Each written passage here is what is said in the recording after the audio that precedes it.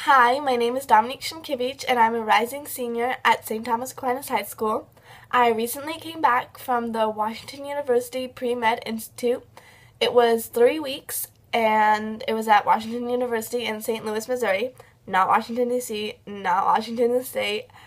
Um, so there's not really a lot of videos about like summer school med things, and if there is one. It's not about this one. So I thought I would make one because I really have want would have wanted to watch it before I applied or before I um, went there just to like find out exactly what it is because on the website it's like a paragraph about the research one and a paragraph about the clinical one and you're just like well this sounds really cool but what am I gonna do um, so yeah, it's split up into two parts, research or clinical, and there's two sessions, June and July, and each session has a research and clinical one. Um, the sessions are three weeks long, and um, the July one ran from July 13th, I think that was a Sunday, to August 1st, which was a Friday. Um, you're there three weeks. You live in the dorms. Um, you meet a lot of people. There's 60 kids, and it's normally like 30 and 30. Um, this time, clinical had a little bit more, and it wasn't completely 60. It was like 58 or something, but you know. Um, what else? Uh, the difference, really, other than what they say on the website, uh, clinical is more like MD, and research is more like PhD, which is like clinical, you do more clinical things, like you learn like what is an HNP and how to actually take one and what do physicians do. And you also get to tour um, around the med school and the hospital, which I think is one of the biggest hospitals in the United States or the biggest hospital in the United States. Um, the research kids, on the other hand, they don't go to the hospital, or maybe they go like once or something. Um, they do a lot of research, obviously, in labs. I think they did something with bacteria or phages or and micropipetting. Um, I know at the end they had to do a project with meat, which sounds kind of cool if you're into that kind of stuff. I know some people who had parents as physicians and already knew what a was and what exactly pharmacists and physical therapists and occupational therapists do. They were like, well, I already know most of this, or I don't really want to do any of this, so let's like try and do the research and get into that stuff. So it's really what you want to do. Um, what else? Um, so I'm going to run through a typical day now because that's always nice to know. Um, classes start at 9. Uh, so I take I would wake up at, the first day I woke up at 7.30 because I wanted to be super early, so you made sure you weren't late to class because that would have been super awkward. And it's actually not that big of a campus, but it is really pretty. And so then you'd go by yourself or with your friends to the Duck, which is spelled D-U-C, not D-U-C-K. Um, it stands for Danforth University Center. That's where all the food is. They give you a card, which opens your room, and the a house that you're staying at. I say house, but it's uh, building. Um, and also has $100 per week for food, which you think you'd run out of, but it actually lasts a substantial amount. And if you do run out, they would like give you more money. But yeah, then you get breakfast. There's coffee there. Don't worry. I was kind of scared, but it's okay. Um, then you get breakfast. You'd eat with your friends and uh, then you'd walk over, which is really just like a five minute walk, but the first day you don't really know where you're going. They have an app, it's like the WUSTL app or something, and I mean, I downloaded it because they were like, oh, download it, download it, but I never actually used it because my friends knew how to work it better. Um, and then once you know where you're going, it's like you know where you're going. Then, so, okay, so you eat breakfast, you go to the class. Um, we had a class in like a lecture hall and people would come and talk to us. This was our schedule. That's what they gave us in the beginning. And uh, yeah, in the mornings they were just a bunch of um, lectures mostly. Um, like we had this, we had a lecture history medicine, neuroscience, immune system, nutrition, biomedical ethics, um, zoology. Um, yeah, and sometimes you would actually have readings to do, so yes, you do have homework, but it's not that much. Um, you'd have readings, and then in class, you would get to do like a small activity, which is just like answering questions about it. Um, um, cool things that we got to do in the morning that does not include lectures um, are we got to dissect a sheep heart and a cow eye, and that's everyone. In the morning, everyone's together, clinical and research. So all 60 kids in the lecture hall. Um, uh, we got to look at x-rays, and although it was kind of hard, um, some people knew a little bit more because they took like AP Bio. I have not yet. I will this year. Um, but so yeah, it all evens out. If you're scared that you won't know anything, don't stress. I probably knew less going in, and I actually won at the end the science fair thing. But yeah, um, you get to learn a lot. Even and if you think you're you know you know all this stuff, there's still things to learn.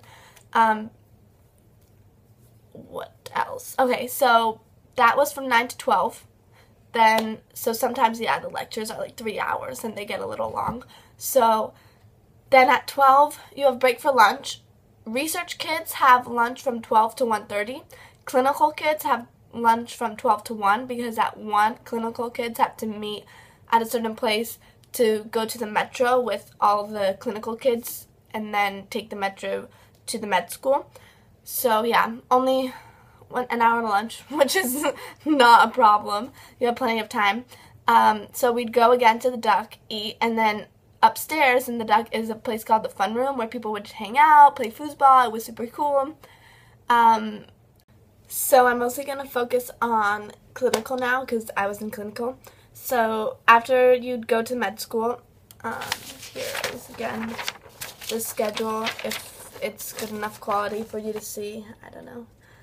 Um, we had a med student come and pretty much he was there like every single day talking to us and explaining what we were to do and whatever.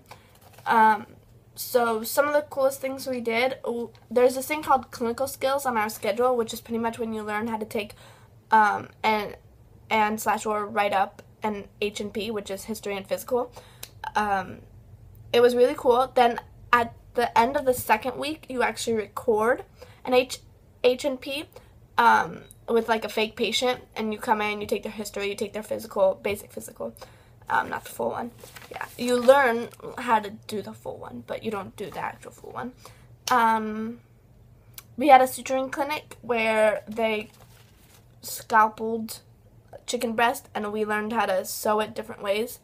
Um, and we also had like a knot tying contest special knot tying contest, a surgeon knot tying contest.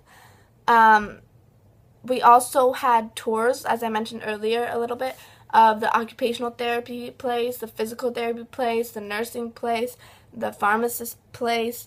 Um, and normally in each place, you get to do a little bit or like a fun activity there. Like in pharmacy, we made calamine lotion and we got to take each other's blood pressure, and that was kind of cool. It's like, hey, I'm to stab you with my needle now. It didn't hurt, don't worry. um, then towards the end, it was really cool because the last couple of days we get talks from a bunch of fields um, pediatrics, anesthesiology, radiology, emergency medicine, psychiatry, urology, internal medicine. So you kind of sort of get to like explore a lot of fields. Um, for me personally, the trauma surgeon and the emergency medicine um, guy were the coolest because they were really funny. And um, what else? What was cool that we also got to do? Um, one time after it ended, after our afternoon session ended a little bit early, um, we got the option to go back to the med school and actually look at um, human organs, obviously from like a dead person. The person they were like seven years old, but they were in form, formaldehyde, so it was okay. A couple of people from the clinical um, group was like, ew, I can't take this. So those two people like went out or something, and the rest of us got to like put on gloves and touch it, and um, it. I mean, uh, we got to see two pairs of human lungs, two hearts, um, two bad hearts with still wires from their um, pacemaker. We got to see the liver, the stomach, small intestine, large intestine, um, probably some other stuff. Um, yeah, it was really cool. Um, what else? Um, oh, you don't really have that much homework, but um, in the beginning, it is kind of a little bit like a lot to think of because everything's due like at the end. So some procrastinators are like, oh, let's not do it till the week before. And I'm sitting here like, how do I time my time perfectly? Um, so that was a little bit overwhelming, but it's really not that bad. I think we had like five reading assignments. Um, what else?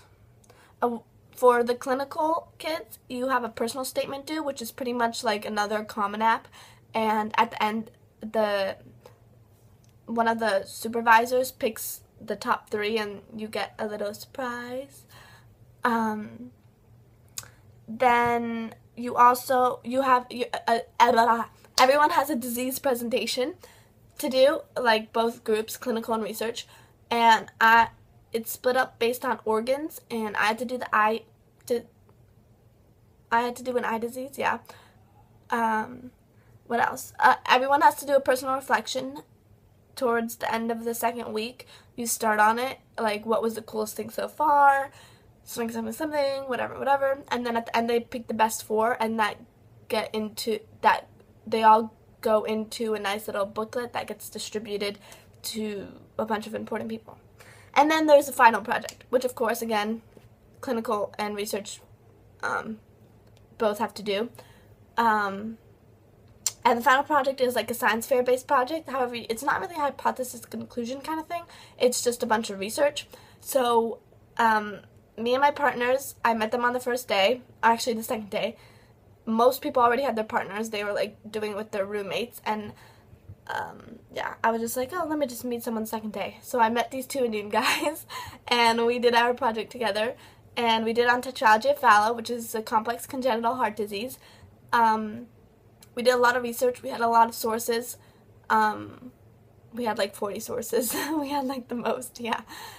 Um, I also sculpted a clay heart, which one of my partners was completely against in the beginning, but in the end, he was like, yeah, it was pretty cool. And I was like, yeah, I know. but yeah, uh, we ended up winning the first place. Um, uh, it's really cool. yeah, what else? Oh, you have classes Monday to Friday. Um, again, morning lecture 9 to 12, and then afternoon lecture um, 1.30 to 4.30. Um, clinical kids, by the time you guys get back from the um, med school, it's normally like 5.15 almost. But that's a lot of time. Eat dinner, chill, hang out, do a little bit of work. Um, weekends are completely free. Um, I know there are, I think, two sponsored trips bowling, and Six Flags. Six Flags was awesome. It was the first time I did a loop-to-loop roller coaster. It was really cool. Anyway, um, then you can always go anywhere. You just have to sign out. Um, and then you have to sign back in by curfew. Curfew on normal days, I think if I'm not messing this up, is 11:30, and on weekends, which they include Friday and Saturday, um, is 12:30 and by then you have to be inside your dorm and then 30 minutes after curfew you have to be inside your actual room okay so other than that you're completely free. Me and my friends we went to the zoo. We wanted to go to arch but there wasn't enough time. We went to the loop which which is pretty much just a street but um, it's called the loop. Um, don't go to illinois. Uh, it was my first time in missouri and i was like oh it's my first time like up north, kind of, except for New York City. And so we were like, let's go to Illinois. And you end up going, if you go via Metro, you end up going to a really shady place. So you should not go there. We learned that afterwards. Um, what else? Uh, Forest Park is actually the biggest park in the country. It's bigger than Central Park, and it has an art museum, a zoo, and the best zoo in the country. There we go again. Um, and that's we went there. It's like 10 minute walk from campus. It's pretty cool. Um, some bad-ish things about the camp. Um, the food was good, but it's um, there's only one place open during the summer, and after like three weeks, it you know what's gonna be there, so it's not like, oh, what am I gonna get today? I wonder what's there. No, you pretty much know. Um, but but there's there's still a lot. Like don't don't worry. You can always buy your own food at Target if you want, but um, it is quite a bit. It is quite expensive. However, there are scholarships available. I applied for a scholarship. I got one.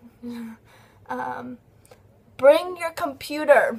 They say that it's optional, but everyone brings it, and I didn't. And I wish I should have. But you know, it's it's all gone now. It it it ended well. But bring it. If you have one, bring it. And if you don't have one, you should consider buying one. um if possible, of course.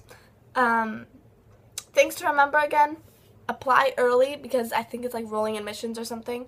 I think it should start somewhere in like February, but I don't know. Check around November. It should be up. Should be up now, even. And because you're living in a college dorm, they do supply you with like blankets and stuff like that, but it's not super cozy, so you might consider uh, bringing your own or your own pillow.